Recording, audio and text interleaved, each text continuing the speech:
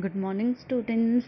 So today I am here for the third activity of the chapter 7 time goes on covering the competency of understanding of basic concepts.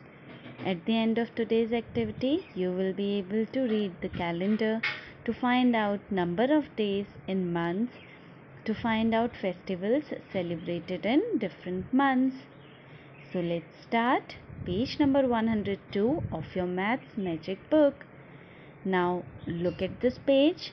Calendar of the year 2006 is given. Which year is the current year? अभी कौन सा year है 2020 and जो ये calendar दिया है इस page में ये 2006 का कैलेंडर है okay now see what all is given in this calendar you can see the name of the months months के name आपको दिखाई दे रहे हैं ठीक है let's read these names first month is January you also repeat after me February March April May June July August September October November and the last month is December okay now come to the first month okay this is January You can see a yellow coloured line उसमें days के name लिखे हैं। Let's read it S for Sunday first day is Sunday then M for Monday T for Tuesday W for Wednesday T for Thursday then Friday and the last day is Saturday. So, there are total of seven days. ठीक है? Seven days make one week एक हफ़्ते में, एक week में seven days होते हैं, ठीक है? और ये जो टोटल मंथ्स हमने अभी रीड किए थे, ये टोटल कितने थे? Twelve months so twelve months make one year एक साल में कितने मंथ्स होते हैं? Twelve months okay now look at the month of January again you can see pink colored line also. Sunday first day है ना संडे उसके नीचे पिंक कलर की डेट्स है ना? पिंक कलर से हाईलाइट किया हुआ है डेट्स को। इसका मतलब है ये जो डेट्स हैं इस मंथ की, जनवरी की one January eight January fifteen twenty two and twenty nine January. In dates पर कौन सा डे होगा? Sunday like this you can also read this calendar right so there are total of 31 days in the month of January. January में कितने days होते हैं 31 days. Now come to the month of February. February में कितने days हैं total? Last date देखिए 28 है है ना सो so, फेबररी के मंथ में 28 डेज़ होते हैं और किसी किसी ईयर में फेबररी के मंथ में ट्वेंटी नाइन डेज़ भी होते हैं। जैसे कि इस साल टू थाउज़ेंड ट्वेंटी में फेबररी में कितने डेज़ थे total twenty nine okay now come to the month of March March के मंथ में कितने हैं डेज़ थर्टी वन अप्रैल में thirty like this you can find out the number of days in different months now you have to write this in your notebook okay let's read it one week has seven days एक हफ़्ते में seven days होते हैं okay Sunday Monday Tuesday Wednesday Thursday Friday and Saturday next is one year has twelve months एक साल में कितने months होते हैं? January to December twelve okay next is one month has thirty और थर्टी वन डेज़ एक महीने में या तो थर्टी डेज़ होते हैं या फिर किसी मंथ में थर्टी वन डेज़ होते हैं। लेकिन February is different from other months ठीक है? फेबररी में ना तो थर्टी वन थर्टी डेज़ होते हैं, ना ही थर्टी वन या तो ट्वेंटी एट डेज़ होते हैं, या फिर ट्वेंटी नाइन डेज़ होते हैं. One year has three hundred sixty five और three hundred sixty six days okay next is every fourth year is a leap year आपको पता है, जो हर चौथा साल होता है, वो लीप ईयर होता है. लीप ईयर मतलब एक लीप ईयर में 366 डेज़ होते हैं। क्यों? एक दिन क्यों बढ़ जाता है? क्योंकि हर चौथे साल में जो फेबररी का मंथ होता है ना, उसमें 29 डेज़ होते हैं। एक दिन एक्स्ट्रा होता है, ठीक है?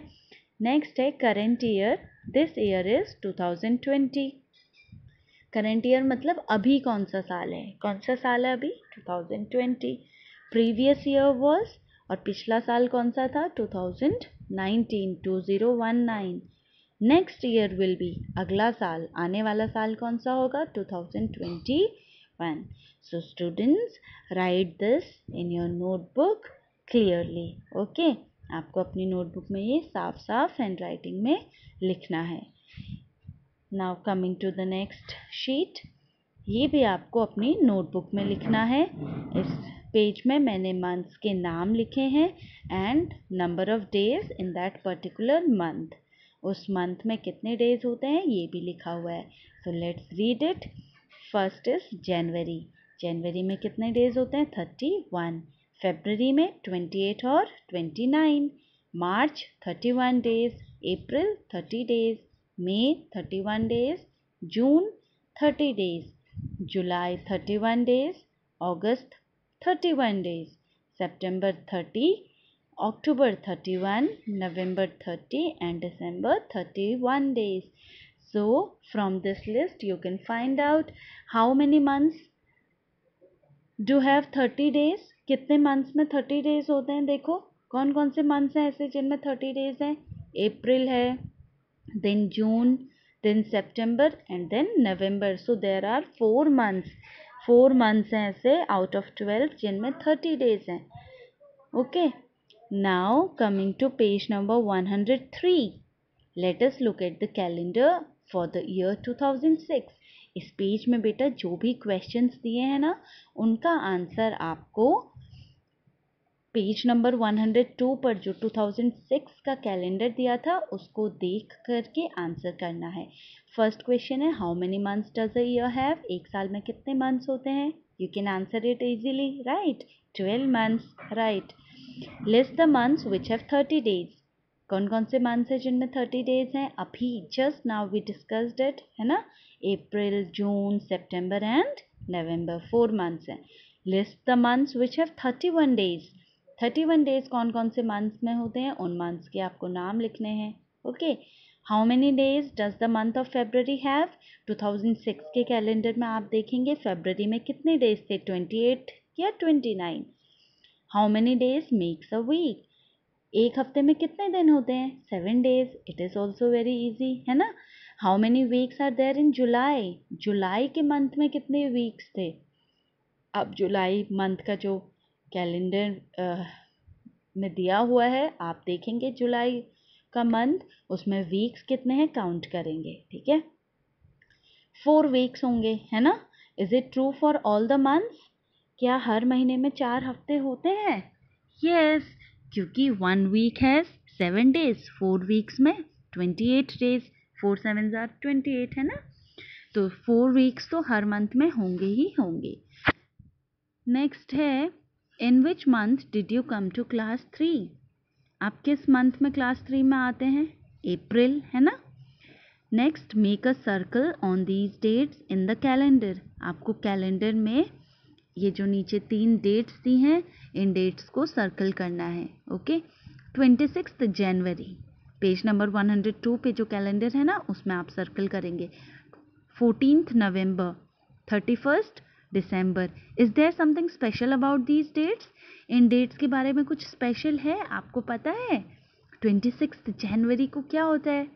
It's the republic day of our nation है ना? हमारे देश का, हमारे देश में इस दिन गणतंत्र दिवस मनाया जाता है। फोर्टीन नवंबर को क्या होता है?